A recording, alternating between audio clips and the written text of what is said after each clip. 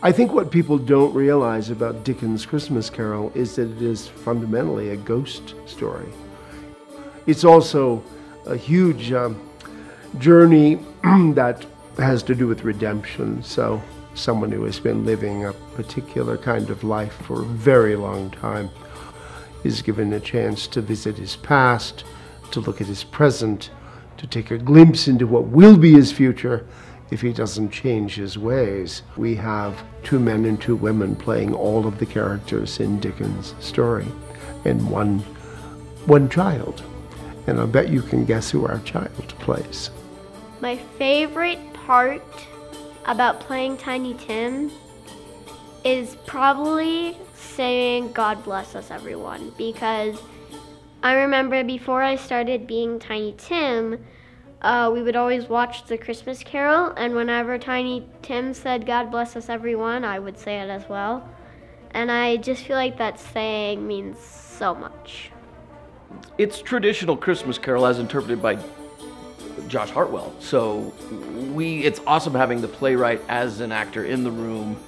It's really fun bouncing ideas around the room with the playwright there. And it's not that we do it like every page, like, oh, well, how about this? How about this? Sometimes things just happen. And then if it does just happen like that in rehearsal, the playwright's right there. We all really trust each other and we have a blast. And it's, it's just a really fun rehearsal room.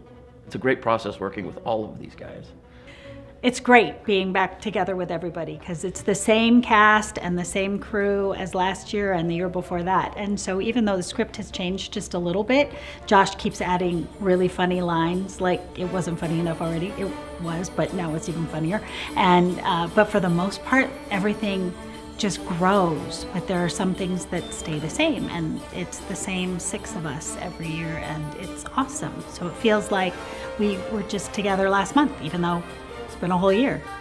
My favorite part of the show is arguing with Josh over who's going to play Marley. My favorite part of this show is coming back together and working with everyone. This is the third year that we're doing Christmas Carol, and the fact that we all get to do this again and that we have Ella with us is truly amazing, and that everyone brings something different to the table is incredible. Everyone is eminently talented. What I like about this, the, the process this year, is that it was really fine tuning and making sure that people had enough time because I remember from last year when we had the really quick changes and seeing actors backstage going crazy because they had to get the, the, the clothes off and the clothes back on. And so I thought, oh, I could pad that a little bit. And then going through and saying, uh, this person doesn't have a funny line for a while, so throwing in funny or whatever I thought was funny at the time.